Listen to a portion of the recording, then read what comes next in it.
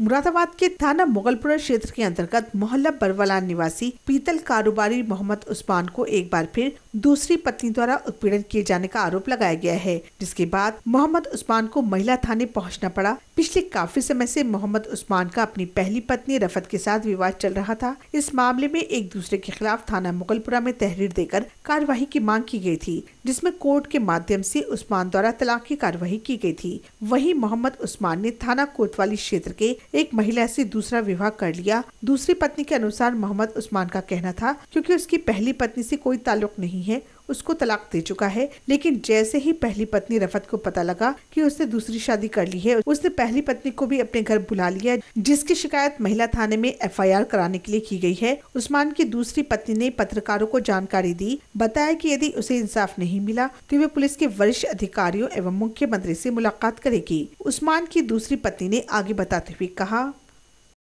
मोहम्मद उस्मान जो थे हाँ फिर? जामा मस्जिद से क्या रहने वाले थे तो उसके बाद है ये नहीं क्या मेरे मैंने तलाक दे दी अपनी बीवी को।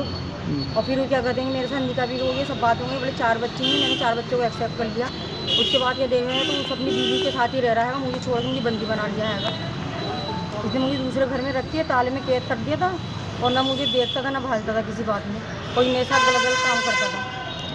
और अपने साथ भी दो दो तीन तीन लड़कों को लेकर आता था। करवाने के लिए कि जब मैं मैं किसी बात को ऑब्जेक्शन उठाती थी तो मुझे मार पिटाई करता था गाली गलौज करता था मेरे साथ। तो आप क्या चाहती हो? अब मैं इंसाफ चाहती हूँ कि मैं तो ये- इसकी एफ़ आई करवाना चाहती हूँ। अच्छा उस्मान साहब को कहना यह है कि आपने कुछ महिलाओं भेज के उसकी फैक्ट्री पे कुछ हमला कराया था? उन्होंने सबों ने देखा कि हमारी बहन यहाँ पर नहीं है उन्होंने पूजा कहा है तो जब उन्होंने क्या करना बहनें आई मेरी पूछने के लिए कोई क्या कहते हैं कि उन्होंने मार पिटाई भी ना कुछ बात की उनके साथ। तो आपको जानकारी थी इनकी पहले शादी हो चुकी है और पहला विवाह चल रहा है इनका पत्नी से? ये बात तो कोई नहीं बताते बताया था मेरा मामला साफ़ है मैंने पत्नी मेरी मेरी पत्नी पत्नी को मैंने तलाक दे दी है और सिर्फ़ मेरे चार बच्चे हैं मैं बहुत परेशान हूँ। और क्या कहते हैं मुझे बहुत परेशानी है खाने की पीने की बच्चे की मेरे परेशान है मैं अपने घर वालों को सबों को भेजा जैसे शादी होती है तौर तरीके से इस तरह से सारा अपनाया मंगनी वगैरह वही सब बातें हुई फिर इनके घर के परिवार से आए अब आने के लिए। अब ये सब झूठ बोल रहा है कि उन्हें इसने मुझे बंदी बना दिया है मुझसे कोई रख रखाव नहीं रखता उस बीवी को रख रखा है जिसने इनने तलाक दे रखी है इसको। वहीं इस मामले में जब मोहम्मद उस्मान से बात की गई तो उसने अपना पक्ष रखते हुए कहा कि उस पर लगाए गए इल्ज़ाम बेबुनियाद हैं। मोहम्मद उस्मान ने जानकारी देते हुए बताया। उस्मान साहब क्या मामला है? मेरी बीवी है हाथ क्या बुलाते हो यार। एक मिनट जी। हाँ बताइए क्या नाम है भैया आपका?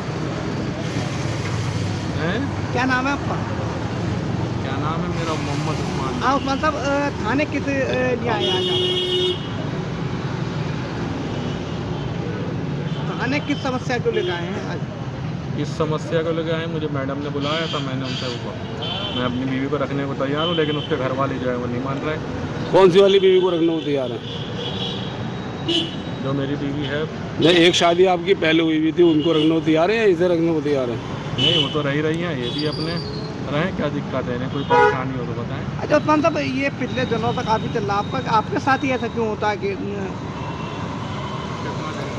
हम्म, इससे पहले भी एक विवाद आपका थाने में आ चुका है इसके बाद आज फिर यही मामला है। बार बार आप ही के साथ ऐसा क्यों हो रहा है? क्या आप परेशान कर रहे हैं? महिलाओं को जो बार बार शादी कर रहे हैं? क्या है पूरा मामला? ऐसा कोई मामला नहीं है साहब। चार बच्चे हैं मेरे। कुछ मेरा बीवी का विवाद हुआ था। वो अब समझौता कर करा दिया प्रशासन ने मेरा। समझे? नहीं पहले अब ये जो है ये पैसे की डिमांड कर रही हैं कि उसे छोड़ दो और नहीं तो मुझे पैसा दो उसे रखोगे तो। पहली वाली पत्नी को आपने तलाक दे दी थी कोर्ट से तलाक हुई थी। अभी अभी ऐसी मतलब वो केस चल रहा है। अच्छा, इनका- कुछ भी नहीं हुआ अभी इनका ये आरोप है बंदी बना लिया आपने दूसरों के हवाले कर रहे थे। हैं झूठ बोल रही हैं इनकी भाई बहन इनके लगे हुए हैं और मेरी फैक्ट्री में इन्होंने अब मतलब किराए की औरतों से ला कई बार हमले भी करा दिए। नहीं इनका कहना ये है कि पहले मतलब आप भी किसी और के हवाले करने की कोशिश की। ऐसा कुछ नहीं है झूठ बोल रही हैं। अच्छा आपके ऊपर जो हमला हुआ था उसमें आपने कहीं थाने में तहरीर दी थी अगर कहीं शिकायत करी है कुछ? बिल्कुल दी थी तहरीर दी कौन सा थाने? मुगलपुरा थाने। तो वो पहले वाली पत्नी के कई बार झगड़े हो चुके हैं आपके कई बार संज्ञान में आ चुके हैं। प्रशासन ने करा दिया मेरा चलो चलो